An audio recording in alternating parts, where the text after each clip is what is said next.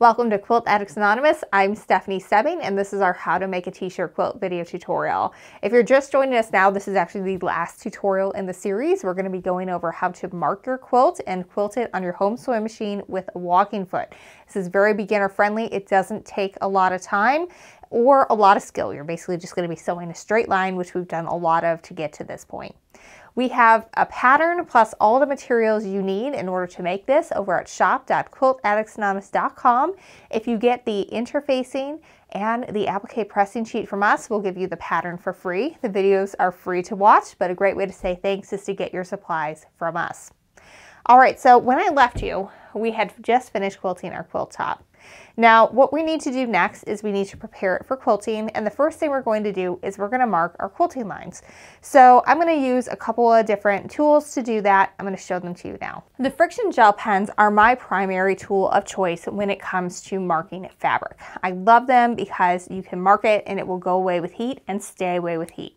Now, there are folks, and if you're a beginner quilter, you may not have heard this term, uh, we call them the quilt police who like to poo-poo on these because if they do get cold, then then the lines will come back. Um, but you just have to throw it in the dryer again or iron it and it'll go away. Um, you wouldn't want to obviously iron your um, shirts, but if you threw them in the dryer on a hot setting, you're good. They're going to go away just fine. And I've got a quilt behind me that traveled all across the country on all manner of postal services, probably in cold uh, vehicles, and I marked all over the top of that, and no marks came back, folks. So people like to complain, but I think people sometimes just like to complain, and we all know them, and we don't have to always listen to them. Um, the other thing, though, about these is sometimes when I mark on them, it will leave, when the mark goes away, a little bit lighter line, like it will permanently lighten the fabric in that area once the line is gone. Now, if you're going to stitch right over the top of your line, no one's ever going to know and it's totally fine. But if you're worried and maybe you're going to be a little wobbly, maybe you might want to do a little bit of a test uh, mark where you just do a little mark here in an inconspicuous spot, maybe right in that corner, put an iron on it, see if it discolors it at all. And if you're nervous about that, then you can use a chalk marking tool in its place. It's a little bit harder to get off, but it totally works. So these come in a couple of different colors. Um, good to have a couple then you can see no matter where you're at. But I also have and I didn't share this in our supplies video but I'm sharing it with you now because it's a good tool to have this Sewline chalk uh, pencil. It's a mechanical pencil. It is really good for going over black because you can see it really well when we mark and because obviously not of these are going to show up on that. It's not going to work. So those are your options uh, that I highly recommend. Now, before we get marking, we have to talk a little bit about batting choice. So I really prefer whenever I'm quilting in general, but especially on my home sewing machine, is that to use a 100% cotton or an 80-20. That means 80% cotton, 20% polyester batting. I do not use polyester ever when I'm quilting on my home sewing machine. The reason is polyester is man-made and it is slick and your fabric is gonna wanna slide around on that. But if you put cotton fabric, especially with this woven interfacing and your cotton backing, and you layer all that up together, it's gonna kind of wanna stick and stay in place. And that way you will have less lumps and bumps on the bottom of your quilt, which can happen sometimes. So I highly recommend going Quilter's Dream Batting. We have some available for you if you would like to grab some.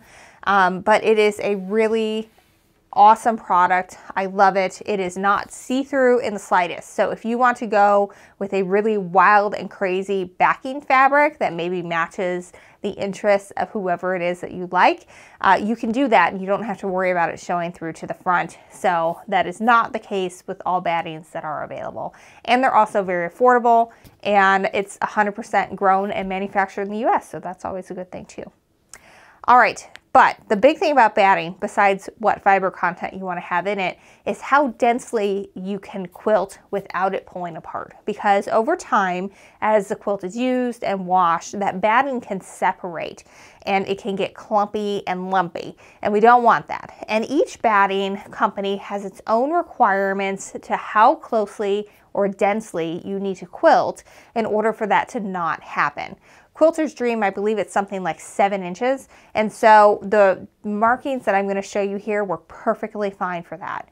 Some quilt battings though, you have to quilt within three inches of each other, and that's from corner to corner. So if we're talking from here to here, this is a 12 inch block, but you can't measure that I've quilted around this and say, okay, it's 12 inches apart. You have to go on the diagonal. And when we put it on the diagonal, then we're looking at about something like 16 and 7 eighths. That's a significantly larger number. So that's what you have to look at when you're looking at how closely you need to be when you are um, quilting and maybe add or maybe take away some lines depending on what your requirements are.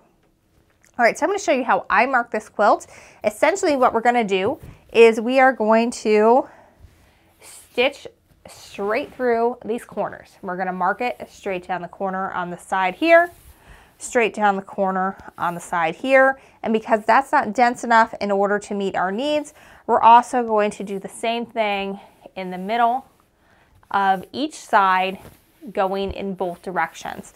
And what this does is it creates enough texture or quilting to hold everything together, but it's not going to be so dense and textured that the quilting is going to take away from the designs of the t-shirt.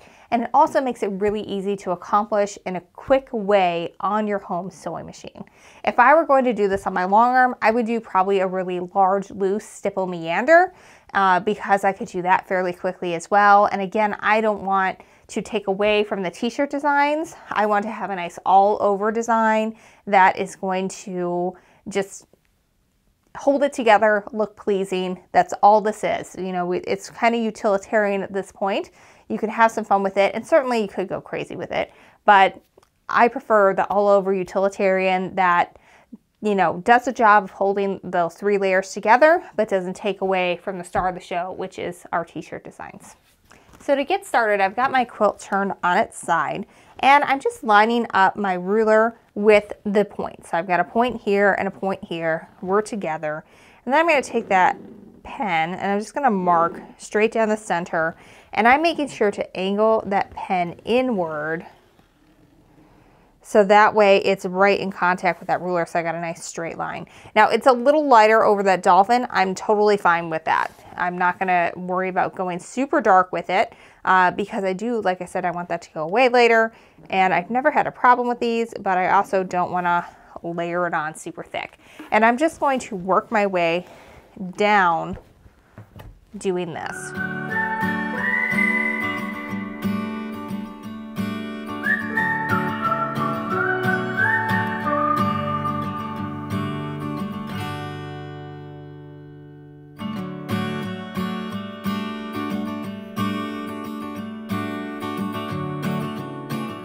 All right, so when you're marking this at home, you're gonna do that through every single diagonal going this way.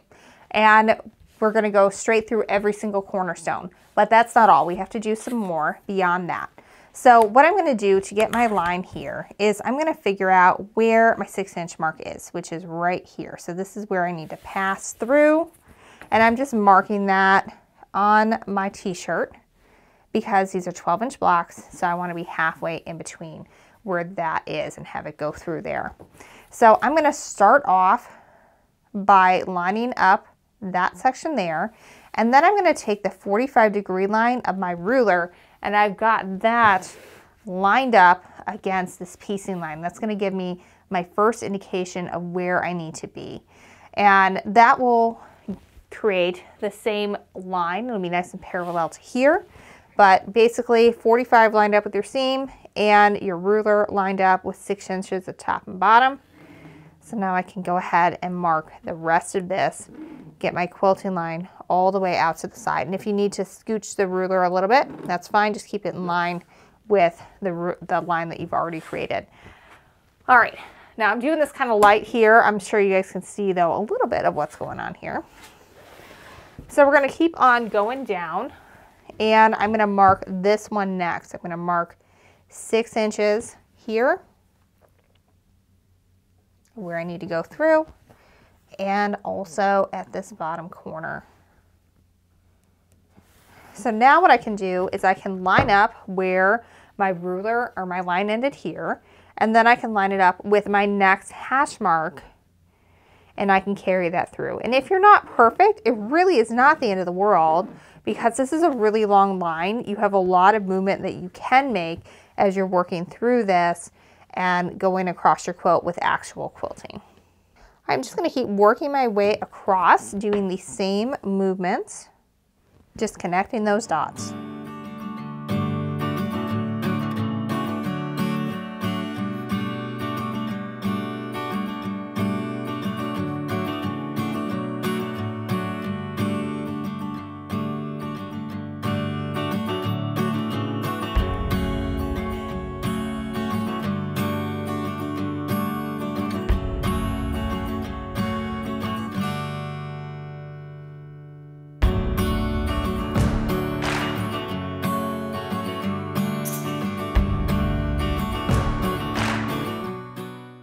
All right, so we can see that we have lines going through our center, or well, our mid, our center of our block, and then also the quarters. And you're gonna wanna do that all in one direction through all the blocks on your quilt. And then we're gonna switch and we're gonna do the exact same thing going in the other direction. Now, since it's super repetitive, I'm just gonna mark out this block here so you can see what it's going to look like once you're complete and you're ready to start sewing. I should probably also point out that when you're in your outside cornerstones, you're not going to be going straight to the corner. So what you're going to have, I've got my point lined up over here and then also here, and you can see that my ruler isn't going all the way to the edge, but it, where it's hitting is about actually a quarter inch away from the edge of that quilt, which means that once I put my quilt binding on, that quilting is going to go right to the edge where that binding is.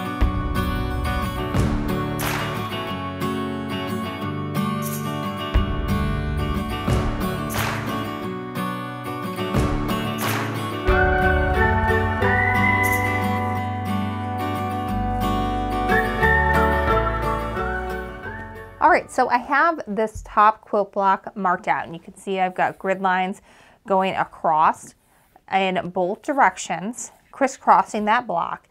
And when we take a measure, remember we want to measure from the point. So I've got the edge of the block to the center here, and that is measuring just at about six inches. So with my Quilter's Dream batting, that's going to be plenty. I will be able to quilt this. I will not have to worry about the batting separating over time because I have met the minimum requirements for density of quilting and we are good to go. Now, if you are doing something where you need to be within three inches for your batting choice, then you're going to want to bisect this further. So you're going to want to measure out where three inches is, and you're going to want to then mark in both directions going across that way. So when you're choosing your batting, that's something you definitely want to look at is the quilt density requirements.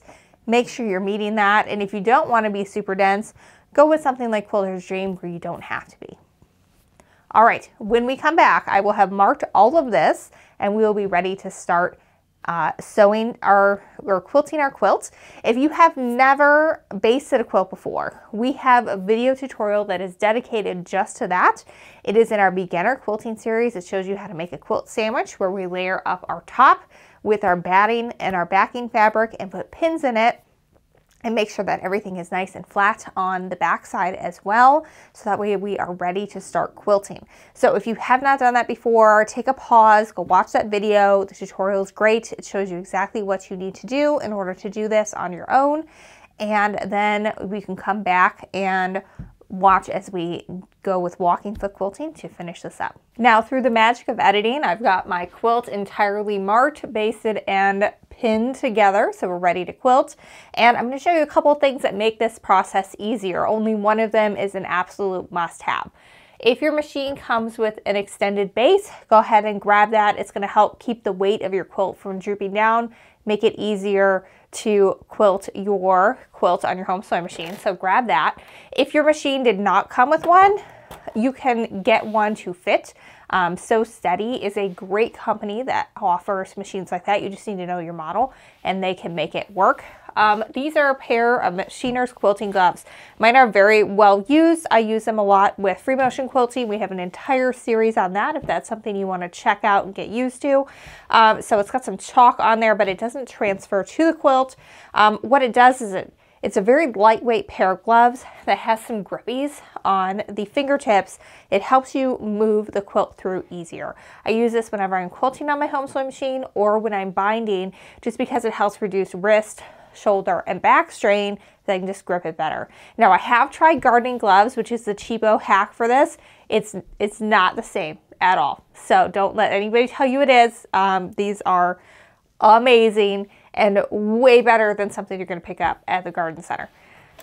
And lastly, we're gonna need a walking foot. This is the must-have tool that you absolutely have to have.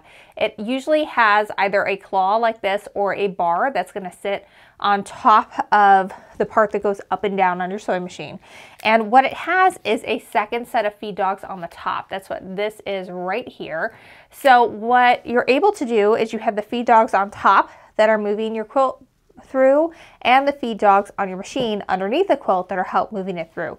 So it helps anytime you're using three layers like this, you want to use a walking foot when you're going through it because it's going to move everything through at the same rate and help decrease the bunching. Now the first quilts I ever made, I did not know what this was. It had come through with my machine, but it just looked like such a crazy foot. I didn't know that I was supposed to use it and I quilted a queen size quilt with a flannel backing just with my regular presser foot and it would have been so much easier if I would have known what this was and put it on. So I'm going to put it on my machine now and then we're going to be able to get ready and get started. So first thing I want to do is press the back of my foot that it's going to release the bottom foot, make it a little easier to get everything off. Now everybody's sewing machine might be a little different, so make sure you're uh, looking at your manual. Next I have to take this screw and just loosen it. In some machines, you have to take it all the way off because you're putting it through like a circle instead of having, like on this one, there's a little claw that attaches to it. So again, might be a little different for your machine, but the main concept is going to be the same. Next, I'm going to take this claw attachment and I'm going to put it over this part that goes up and down. And that's what's going to control the feed dogs as I go. So I've got that claw going around it. Again, if you've got a bar, you just want it to sit on top. Now I'm going to take my screwdriver. I'm going to tighten up the side screw. Now I store all my regular, like my screw, my regular piece that goes on my machine in the compartment that I took off to put my expandable base on. And so I don't lose anything because let me tell you, I have and have had to rebuy feet. So this is a great way to keep it safe until you need it again. All right, we're gonna do one more thing here before we get started. I'm going to bring my needle down and back up again just by turning the hand wheel on the side. You always wanna turn that toward you, never back. And that's gonna bring up my bobbin thread. I'm gonna give that a little bit of a tug. That way I'm able to bring my bobbin thread to the top when we get started so we don't end up with a big mess in the back. If you want, you can also match your bobbin thread color to your backing. That's all totally up to you. There's one more thing I have to do to get ready, and that's roll my quilt so it's gonna fit underneath the throat of my sewing machine. So since my lines are running diagonal across the quilt, what I wanna do is start at the very corner and just start rolling in. So I'm gonna kind of start with a little bit bigger corner, and I, I wanna keep this as tight as I can because then I'm gonna be able to fit it underneath my throat plate, which is very, very important.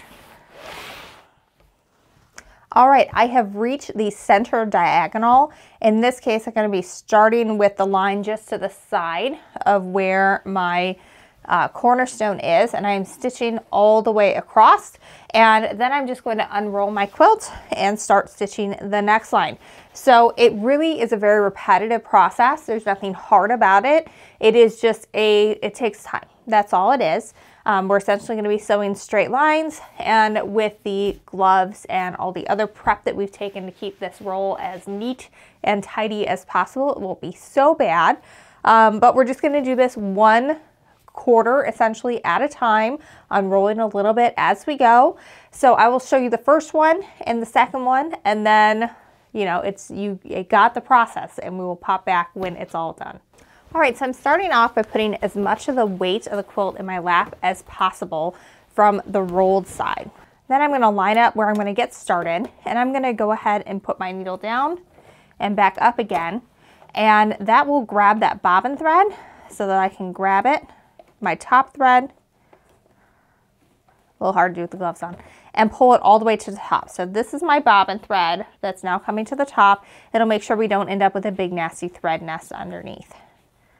So I'm starting a little bit off. I'm just going to put that needle down. Now I've got this side completely unrolled. This is where we want to have a lot of the weight as much as we can on the table. It's going to help the quilting go easier and also ease the strain on your body. Now you can increase your stitch length. I'm increasing mine to a 3.5. We're not piecing, we're just trying to hold all those layers together.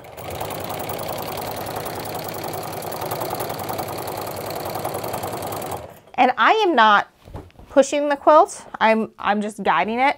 Like if I let this go without my hands on it, the quilt is gonna move through. You do not want to be shoving it through, but you do wanna have your hands on either side to guide it.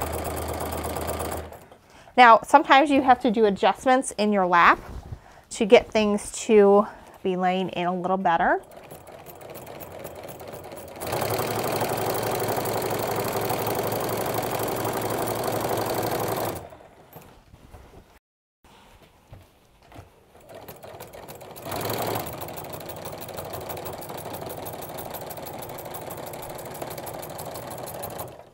And I am just using a plain white thread for the top. I find it, that it blends a lot better than you think it will. Um, and then when you do have those white shirts, it just kind of hides completely.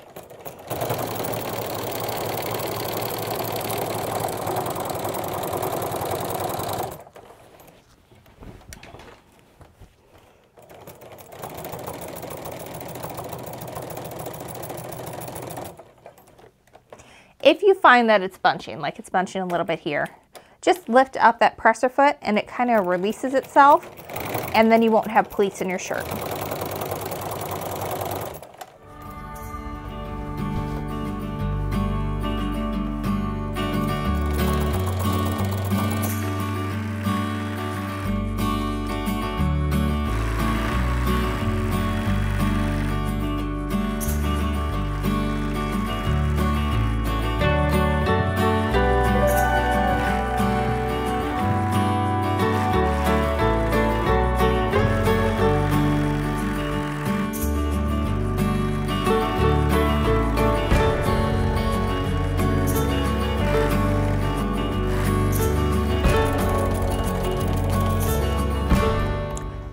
Come all the way to the end, you can go ahead and break those threads. You can also leave them long if you want.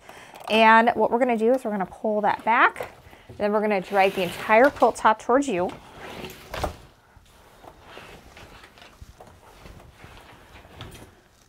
And here's the important part. We're gonna put as much of the weight on top as we can and we're gonna roll back until we hit the next line. So I can see right here, here's my next line. This is the one that I need to stitch with. I like to get that needle down to kind of hold everything in place and then fuss with getting as much up on the table as you can. Some people find it helpful to put a second table over here to help hold the weight of the quilt. Um, that's totally up to you and, and what kind of setup you have.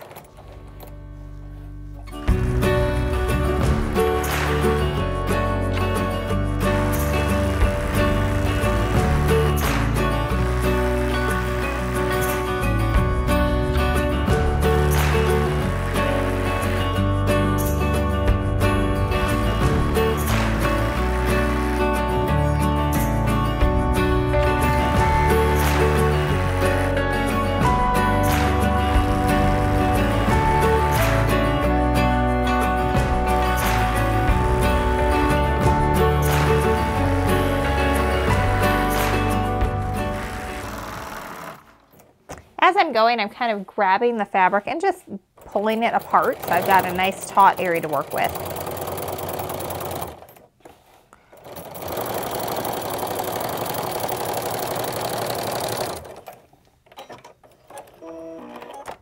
All right, we are just gonna keep repeating this process until we have quilted this entire half of the quilt. One thing I also like to do every once in a while, this bobbin's getting a little low. I just kind of take a peek and see if I think we got enough to make it through the next row. I think we do in this case. Some people like to wind up a few bobbins before they get started. That way they're not like have to stop when they're on a roll and wind one. But uh, that's totally up to you.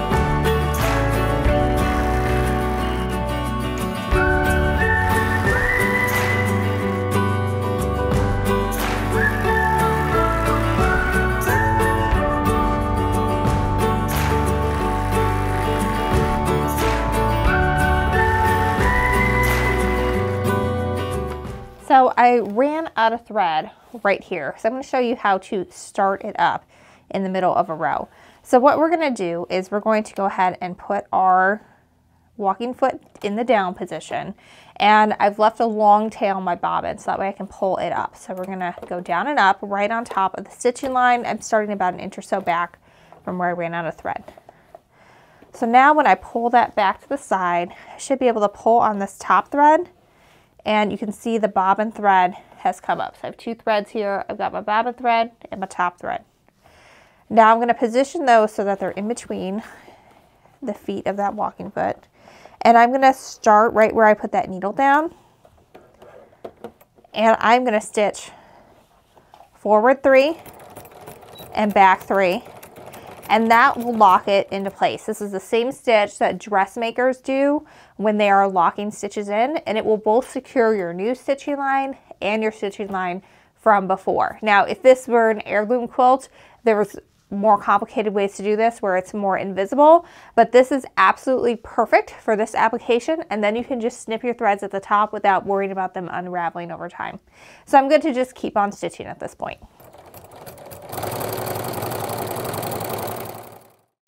All right, so when I lay everything out, we can see that I've quilted this entire half going on the diagonal.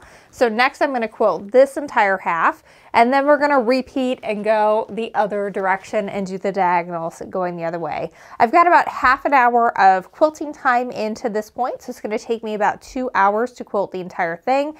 We're not gonna roll the cameras for that entire time because the process is the exact same. You're just gonna do one half at a time, going each way, then you're gonna turn it and do one half at a time this way, and then one half that way until you have everything all together. And then when we're all done, you're gonna take your applique pressing sheet, first remove all your pins, take your applique pressing sheet and just go over to remove any of those lines from the friction gel pen. And then you're ready to bind and snuggle under this quilt. If you do not know how to bind, if you've never done that before, make sure you check out our video on how to do it. It covers absolutely everything. It's like a 40 plus minute long video because it covers how to cut your strips, how to sew them together, how to press them over, how to sew them to the front with your machine, and then how to sew them to the back by hand. You certainly can also sew down by machine if you're crunched for time, but I personally prefer the look of hand stitch binding, so that's what I like to do on my quilts. So that's what I'm going to be doing the rest of the afternoon and I will come back just to show you the final quilted bit but for now I'm going to turn off the cameras because you know what you need to know in order to finish this up. Uh, one last bit of advice before I finish quilting this off camera is that I do not recommend quilting for more than one hour straight. I'm going to quilt for two hours straight just so we can finish this bad boy up and wrap up this video but I'm going to regret that later tonight possibly, uh, or possibly later today, definitely tomorrow. My shoulders and my back are going to be sore. I can already feel it after about 30 minutes of this. So one hour at a time per day, that's really all you probably should do. There are ways you can make your chair more economic. I, I raised my chair up so I was more in line with, uh, you know, more perpendicular with the surface of my sewing machine. Um, there are tables where you can set the machine down in it, or you can just pass it off to a long armor. But I'm going to be totally honest with you, most people making t-shirt quilts for gifts don't do it with enough time to head it off to the long armor in order to gift it on time. So that's why we ended, we're ending this series with this video. So if you are finishing it and you hope to gift it in a week or so, you're able to finish it yourself at home. But uh, we've already got those videos on binding. We already had the video on how to prepare your backing fabric and layer and baste your quilt. That's in our beginner quilting video tutorial series. You can watch those for free. So we did not cover that in here, but you, if you need help with that, we have videos to walk you through it step by step. All right, I'm going to leave you be for a minute, and when we come back through the magic of editing, this will be complete. All right, so I have finished all the quilting. It took just about two hours from start to finish to do in all directions to do the diagonals and I really like the way it turned out. It is secured enough to where we don't have to worry about batting shifting, but it's not to where the quilting is taking over.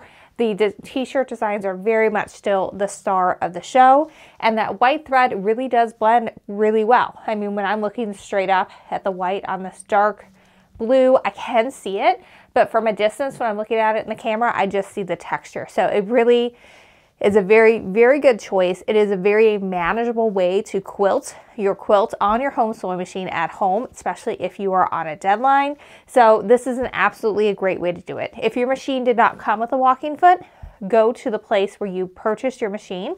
You likely can get one there. If you purchase it from a big box store, you're going to want to look online to see if there's a sewing machine repair shop near you. They're going to be able to get one that will work with your machine. And it's a good relationship to have because if you sew a lot, you're going to need to clean your machine every six months to a year to keep it working for a long time. So I really hope that you guys have enjoyed this series on how to make a t-shirt quilt. I've enjoyed revisiting it. And We've come such a long way uh, since we filmed that first series. At the time, you know, I was working, I hadn't, and like a regular job. I didn't own my own business. I did a few craft fairs here and there, um, but I hadn't had my baby yet. And when I had that little girl, I knew that my traditional crazy nine to five that really wasn't a nine to five. It was more like a nine to six. And then when you get home at night, you work like a whole lot more.